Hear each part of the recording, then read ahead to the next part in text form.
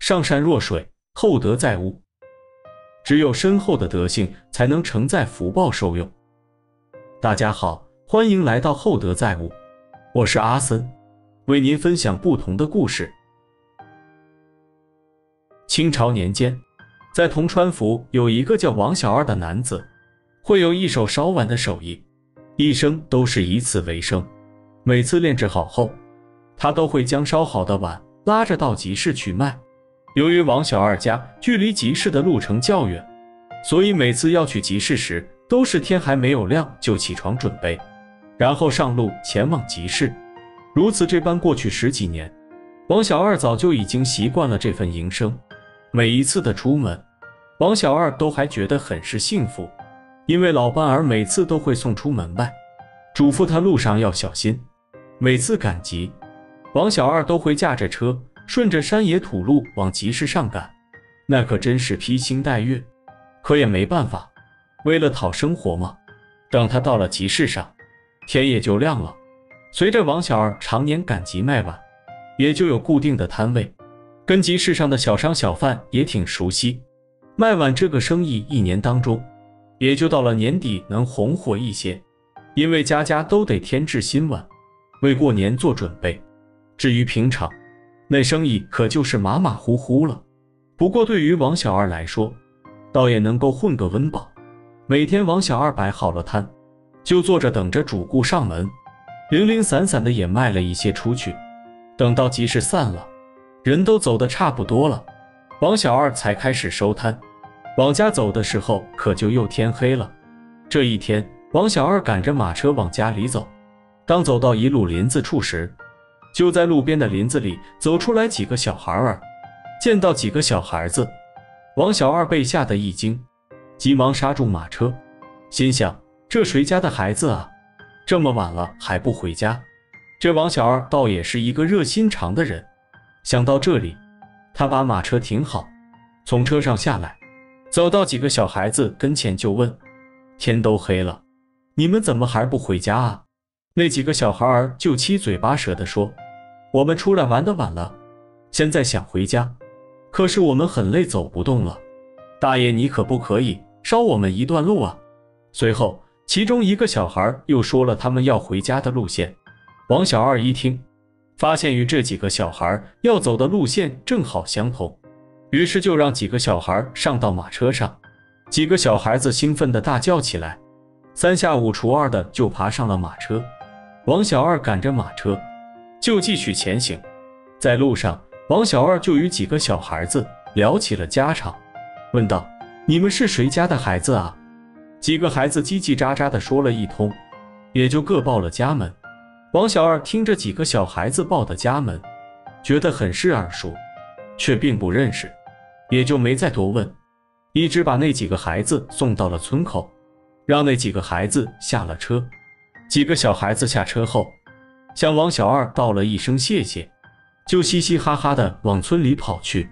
王小二坐在马车上，一直瞅着那几个孩子跑进了村里，这才又继续赶着买车往自己家走。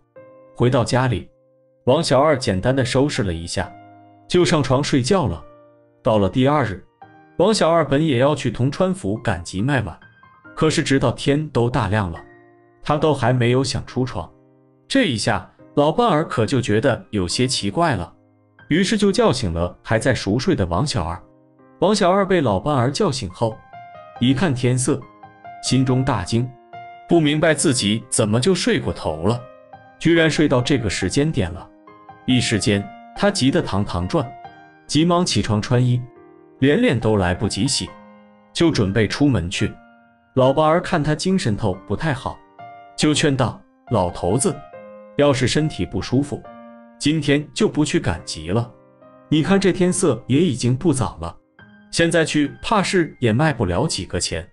王小二可没有听进去老伴儿的话，依旧套了马车，装上炼制好的碗，出门到铜川府集市去了。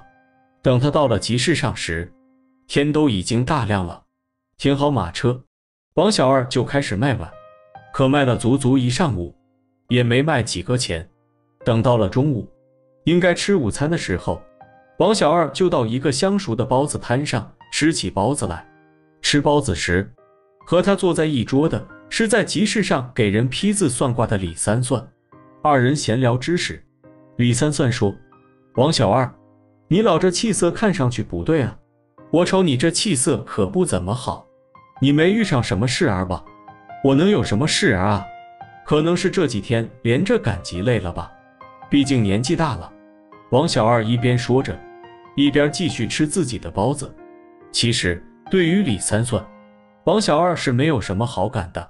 必须，他可是不太相信算命之事。所以，王小二对于李三算说的事情，并没有放在心上。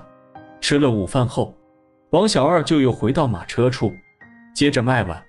因为起得晚了，所以当天王小二就在集市上多摆了些时间。等他往家赶时，天都已经黑了。当晚，王小二赶着马车再次路过头天遇上那几个小孩子的地方的时候。他看见那几个小孩子又从路边的林子里钻了出来。几个小孩子出现后，和头一天是一样，他们想要搭王小二的车回家。王小二也没多想，就又让那几个小孩子上了车，一直到了头一天的那个村口。那几个小孩子同样是下车进了村。到了第二日，王大爷又起晚了，同样是赶了个晚集。这一天啊，他在看摊的时候。居然还睡了过去，同时还觉得昏昏沉沉的，浑身没劲儿。中午时分，到了吃饭的点时，王小二就碰上了李三算。李三算见到王小二后，就主动上前打招呼：“老王，这都吃上了啊，来，给你个东西。”说完，就拿出一个物件交给王小二。王小二担心李三算没完没了，也不答话，直接就将东西接了过来。随后揣到上衣兜里。这一天，王小二的买卖也不怎么好，又是卖到了天黑的时候，方才收了摊儿。在回家的路上，王小二一边赶着马车，一边在心里盘算着李三算说的话。一盘算，顿时觉得有些惊奇，心想：这几日我这精神头不好，能不成真是让什么东西给缠上了？他正在琢磨着呢。马车就到了遇见小孩子的地方，这时他就看见路边站了几个小孩，正是头两天坐他马车的那几个孩子。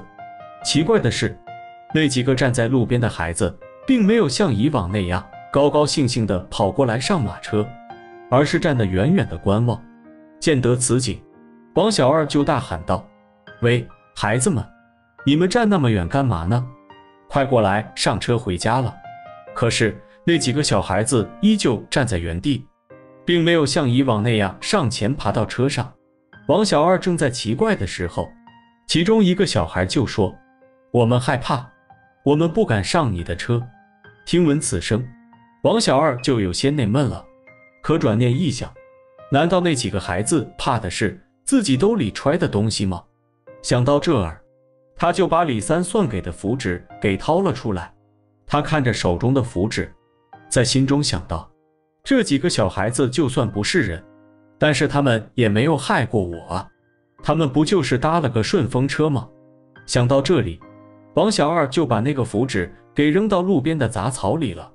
符纸一经扔出，那几个孩子就乐颠颠儿的爬上车了。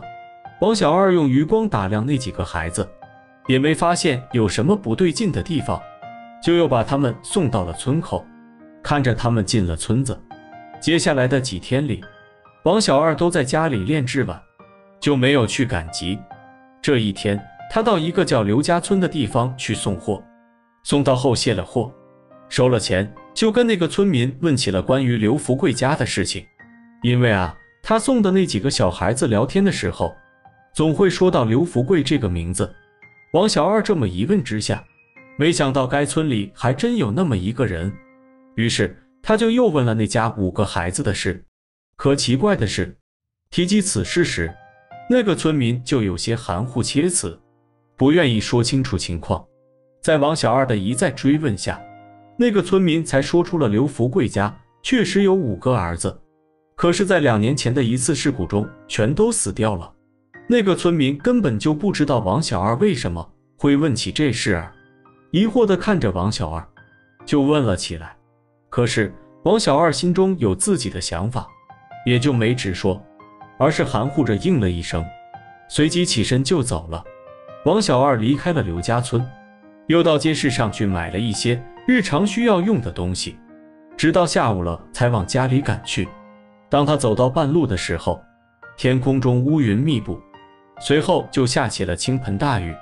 此时他所在地方，那是前不着村后不着店的。一时间，王小二只好使劲地挥着鞭子，吆喝着让牲口跑快些。只有这样，他才能赶快地回到家中。那牲口被靴子打得生疼，就一路往前狂奔。说巧不巧，在半路上时，突然间从草丛中蹦出一只兔子来。这兔子一出现，那牲口一下就受了惊吓。顿时发了疯似的跑了起来，王小二大急，急忙拉扯绳子，可是怎么拽都拽不住了。马车急速向前，在路过一个弯道的时候，车轱辘一滑，掉下了路边的土坡下。此刻，王小二想下车已经来不及了，就感觉车轱辘一直往下滑。此时此刻，王小二在心里暗叹道：“完了，这回完了。”连人带车滚下坡去，不死也得残废。就在他觉得车子快要完全不受控制的时候，突然间车身猛地停了下来。王小二心中一惊，随即往后方一瞅，此刻他看见这些天一直搭他车回家的那几个孩子们，正在用力地拉着马车。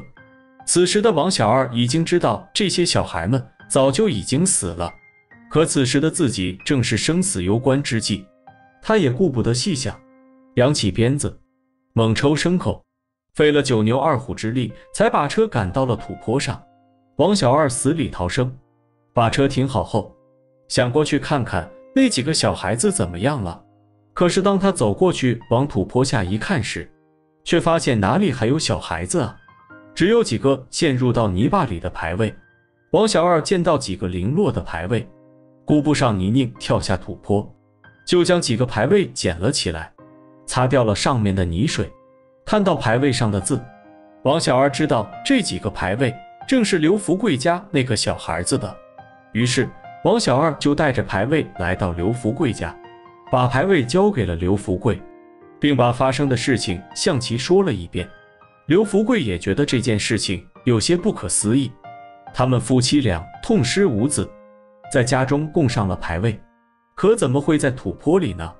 至于王小二每天遇到他们的树林，正是几兄弟生前常去玩的地方。王小二如今还是每天赶着牲口去到铜川府赶集，见人有难时，他还是会伸把手帮一下。他时常说：“人嘛，总要多做好事，要相信好人总会有好报的。”